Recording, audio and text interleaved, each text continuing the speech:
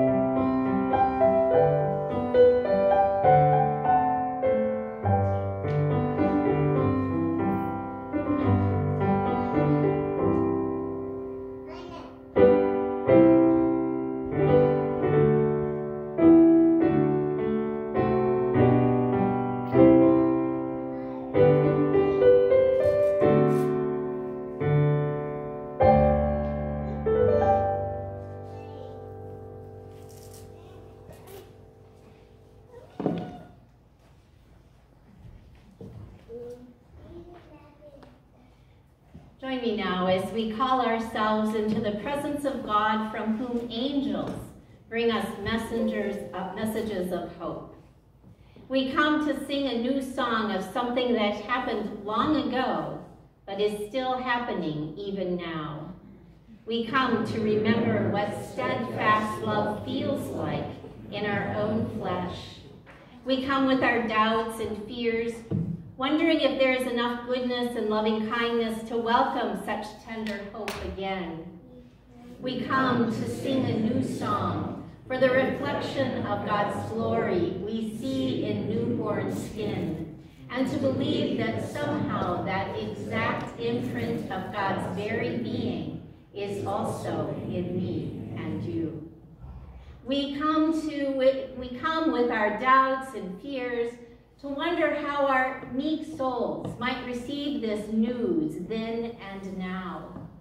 We come to see all that will be revealed in God's incarnation.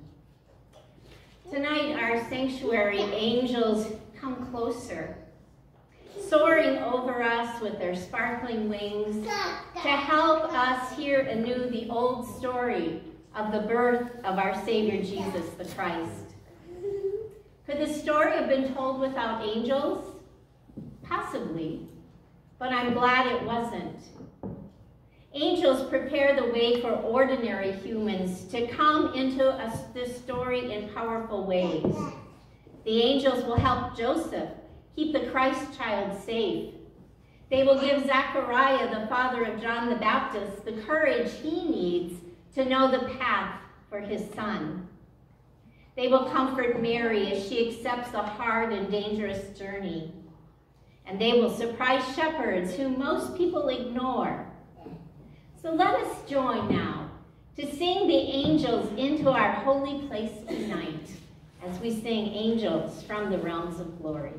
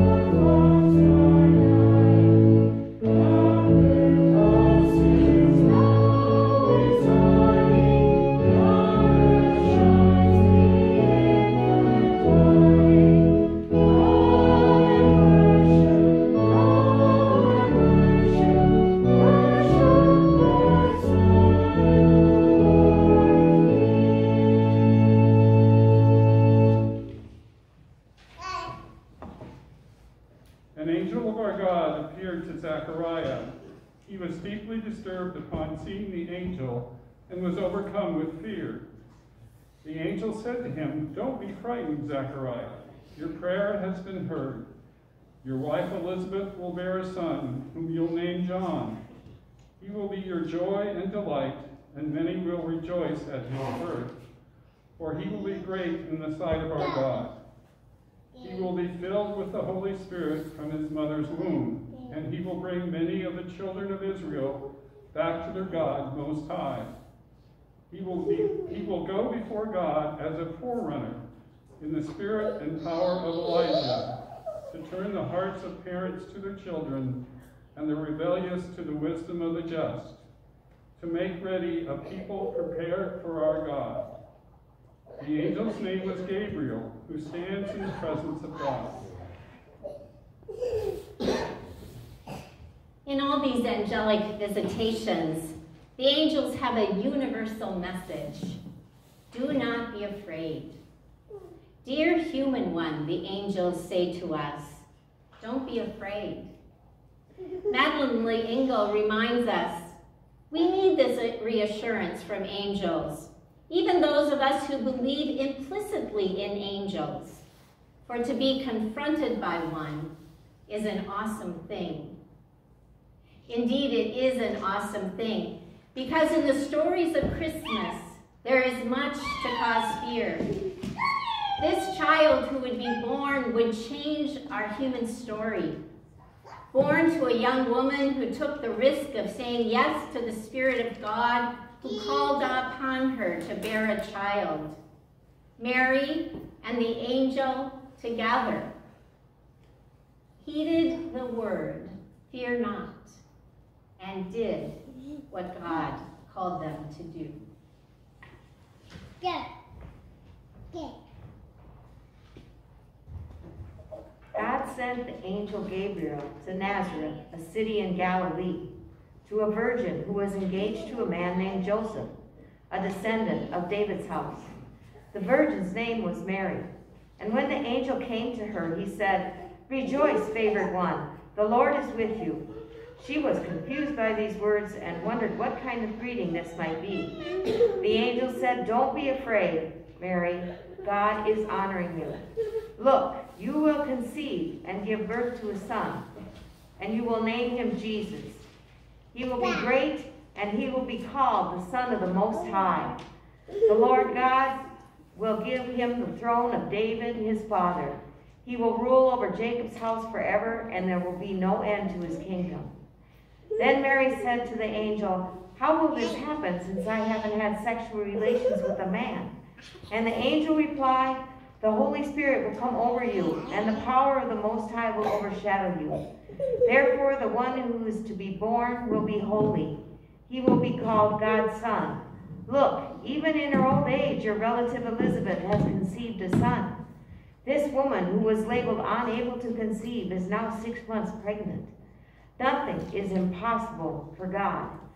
Then Mary said, I am the Lord's servant. Let it be with me, just as you have said. And then the angel left her. Now I invite you to stand as we sing together, Hark the Herald Angels Sing.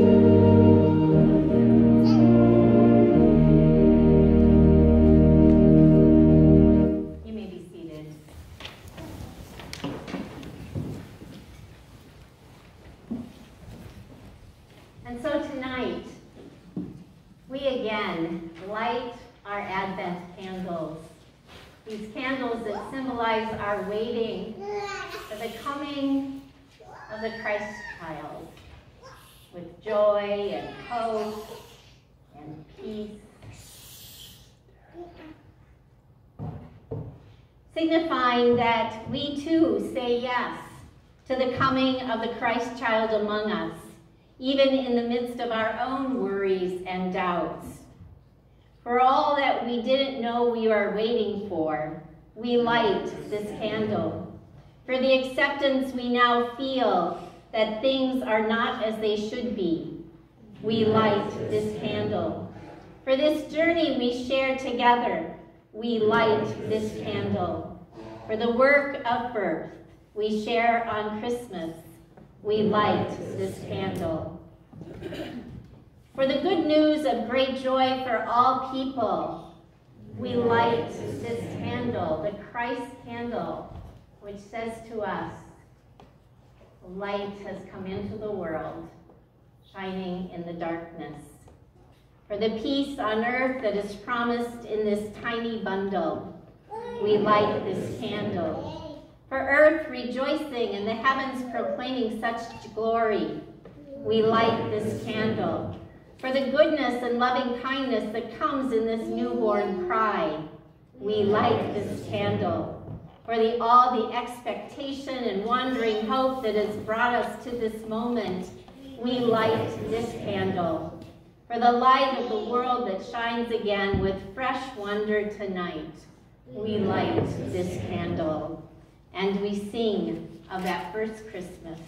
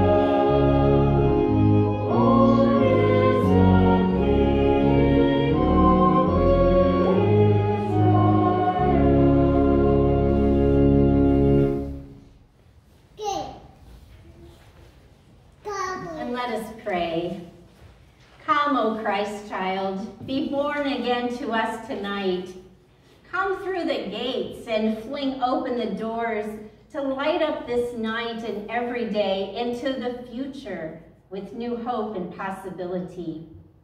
Come into this region and into our lives, into what we have so fiercely believed would never change, and make known to us again what God can do.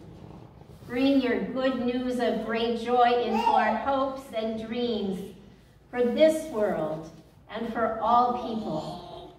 Come, O Christ child, be born us tonight. Amen.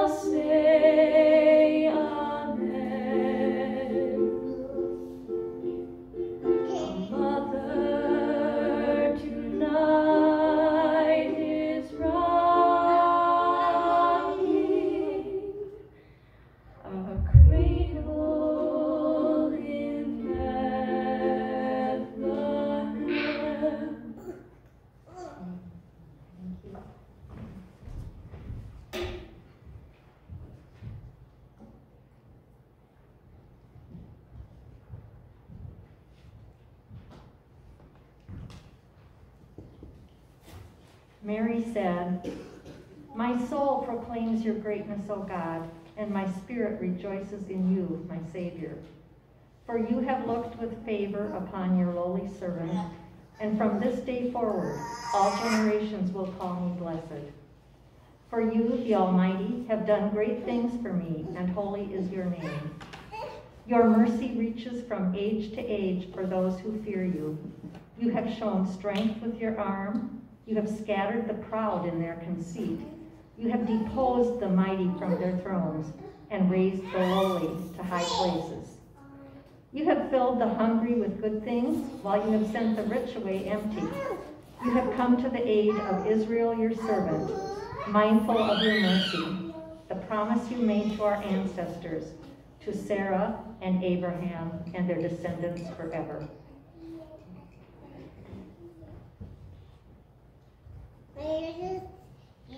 As Mary sang about her own child, about his greatness, did she also know the heartbreak that she would experience as this mother's as this child's mother? Did she know the worry that would come with all that Jesus did while he was on earth? Mary, did you know?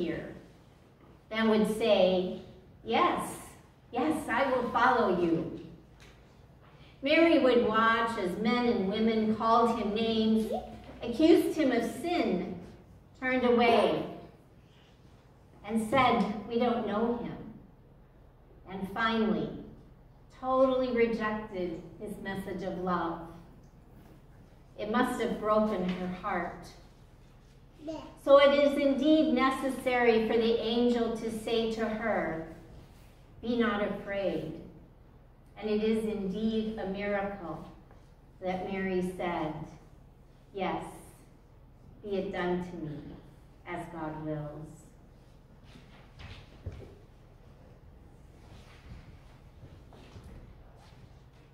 The Lord be with you. On a night like this, as a child lies in a manger, feeling the stiffness of hay itch his bare back, we pray for all human flesh. All who listen to hear the message of the angels, do not be afraid. For brown flesh and wrinkled flesh, for those with thick skin and thin, for those who come in fear and trembling, and those who come with joy and gladness, for the flesh that longs for human touch and skin that crawls with pain and frustration for what this fragile body can do. We pray for all peoples everywhere. We pray for glory and strength and hope for all whom God favors.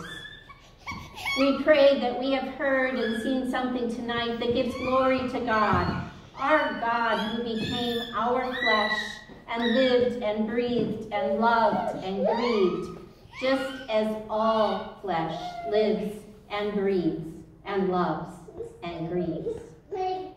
We pray on this night of nights that we will catch our breath and dare to believe that this good news beats in our hearts and lives in our own skin.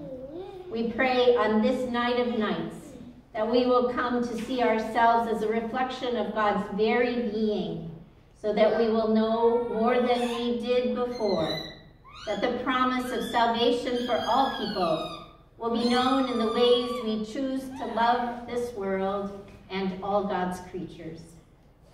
We pray that we will have enough courage to use our hands and feet to make love known. We will touch and we will heal. We pray that we will smooth down the rough ways of justice and lift the lowly and the lowly. We pray that the song of Mary will become our song. We pray that we will give each other reason to sing with the angels. Glory to God in the highest heaven, and on earth peace among all whom God favors. We pray our meek and fearful souls will receive this good news then and now and be forever changed. Amen.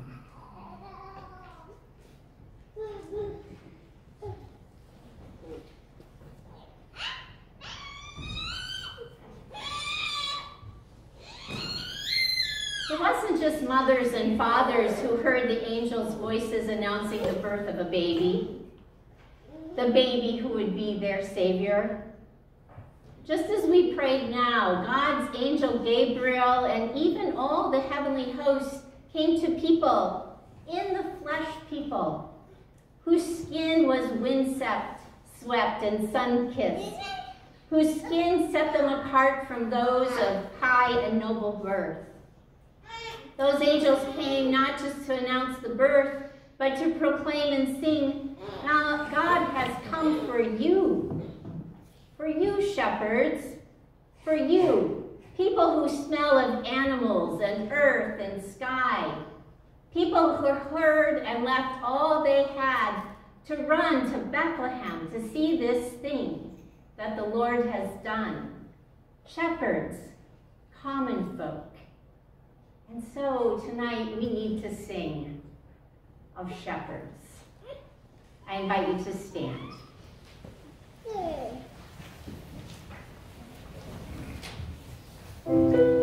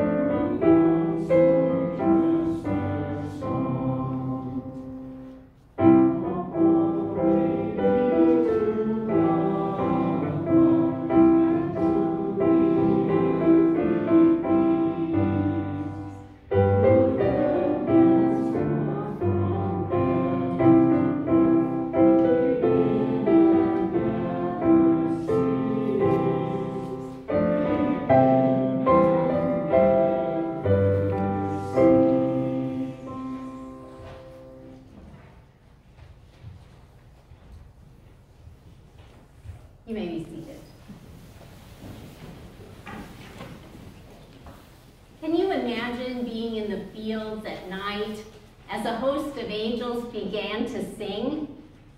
Fear would certainly be one of your emotions. And so, like always, the angel said to the shepherds, Fear not.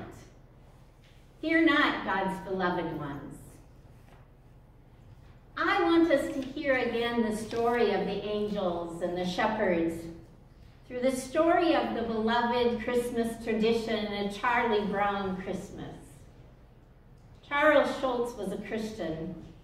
He insisted that when he was asked to make his Christmas movie, that the birth of the story of Jesus was included in this movie. But Charles was also brilliant in weaving the personalities of his beloved characters into that story. These personalities became to us symbols of our own flesh and blood. Charlie Brown, who could never quite do anything right with his funny little tree, but was still loved for who he was. Lucy, always the predictable, overbearing little girl who we all hoped would learn to be kind and caring and would keep that football on the ground for Charlie to kick. And Linus, the quiet, creative one, with his ever-present blue security blanket. In the Christmas special, Charlie Brown Christmas, have you ever noticed what happens to Linus when he takes center stage and reminds us of what Christmas is really about? We're going to watch a clip, and I want you to watch carefully to that blue security blanket as Linus tells the story of the angel's visits to the shepherd and what he calls the true meaning of Christmas.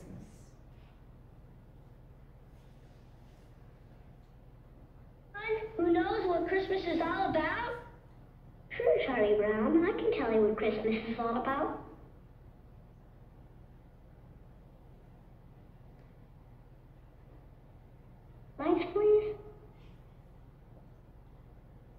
And there were in the same country shepherds, abiding in the field, keeping watch over their flock by night. And lo, the angel of the Lord came upon them. The glory of the Lord shone round about them, and they were sore afraid. And the angel said unto them, Fear not, for behold, I bring you tidings of great joy, which shall be to all people. For unto you is born this day in the city of David a Savior, which is Christ the Lord. And this shall be a sign unto you. You shall find the babe wrapped in swaddling clothes, lying in a manger. And suddenly there was with the angel a multitude of the heavenly host praising God, and saying, Glory to God in the highest, and on earth peace, goodwill toward men.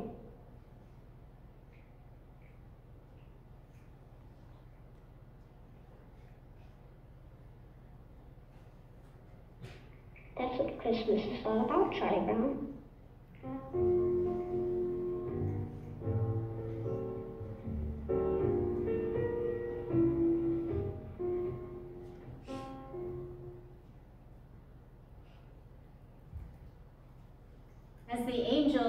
The shepherds, fear not, Linus confidently, for the first time and maybe the only time in his life, drops his blanket. Such is the power of the angel's message. Fear not. God's got this. Fear not. The Savior has been born for you. Fear not. All our flesh will now see the salvation of God. Fear not. But Linus only dropped his blanket for a moment, didn't he? He leaves the stage with that blue security blanket firmly in his grip, and such it is with our lives. Even after we allow, allow the angel's words of comfort, be not afraid, to overcome our own fears, we think now we have arrived at peace on earth only to find that the fears creep in. And as we look down, we see our security blankets gripped firmly in our own hands. But we know, just like Linus knows, we can let go. Once in a while, we can let go. When we hear again the angel's song, Fear Not, then again, we can live for those moments when Christ becomes so real in our hearts that we know perfect peace. When we can sing with the angels, glory to God in the highest and peace to all of goodwill. That is what this night is. It is that moment when we join the angels' chorus and sing the song of Bethlehem. It won't last forever, not yet.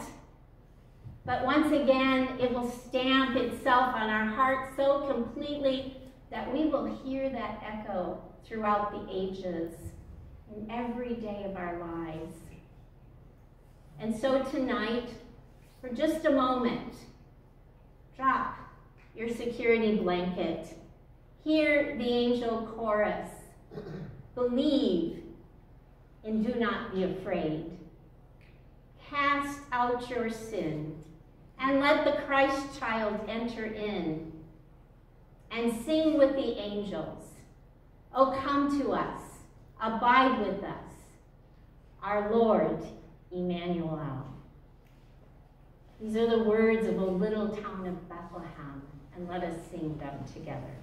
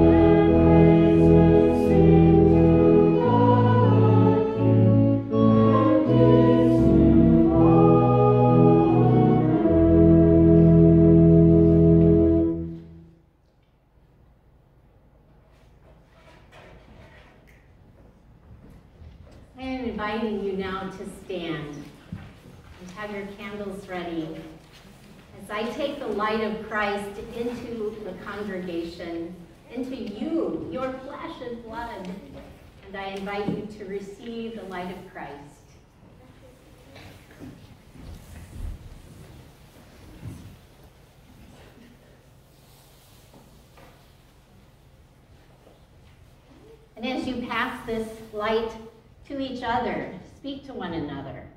This is the light of Christ.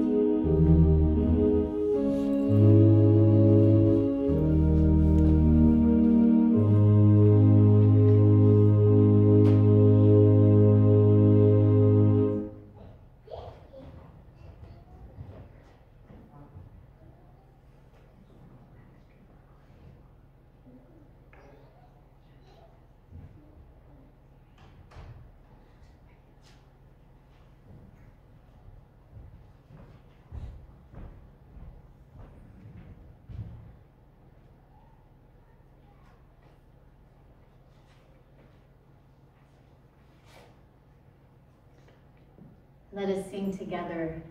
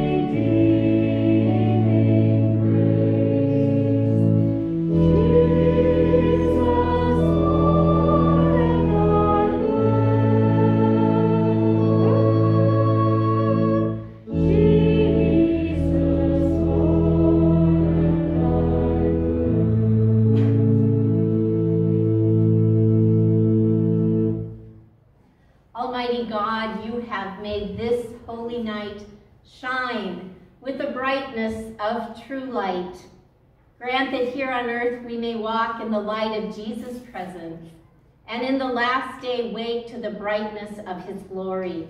Through your Son, Jesus Christ our Lord, who lives and reigns with you and the Holy Spirit, one God, now and forever. Amen. And let us speak the blessing one to another. Go now to your homes. Receive and celebrate God's love that joins the world through the Christ of the manger and the Christ of the cross. Live in the light of that silent night's joy. And may Christ be born in every home. The Spirit's laughter lift every heart.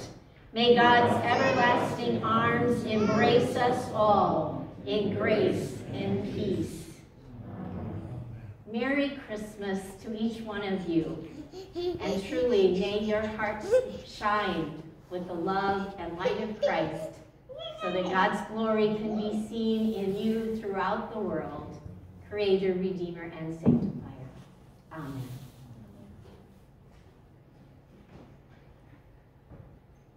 Amen.